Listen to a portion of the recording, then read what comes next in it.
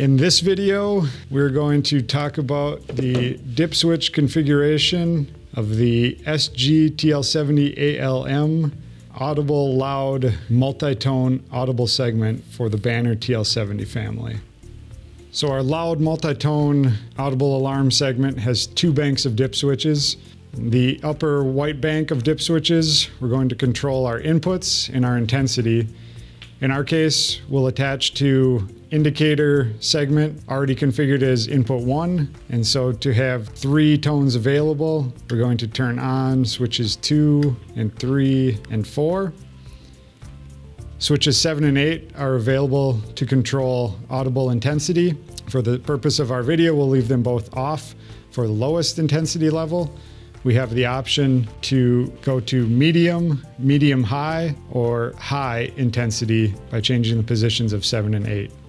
Choosing between the four tone options available, we'll do through the black bank of dip switches. Each two switches on the black bank correspond to inputs one through six on the white bank. So because we are using inputs two, three, and four, we'll use switches three and four for number two, five and six for number three, and seven and eight for number four.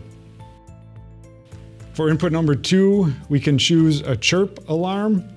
In that case, we will turn switches three and four both on. Switches five and six for input three, we can turn to a siren. This corresponds to five off and six on. And for our fourth input, we will stay with the default continuous alarm setting, meaning we leave switches seven and eight in the off position.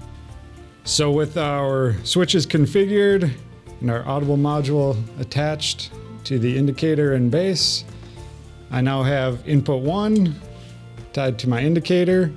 Input 2 will be my chirp, input 3 my siren, and input 4 my continuous.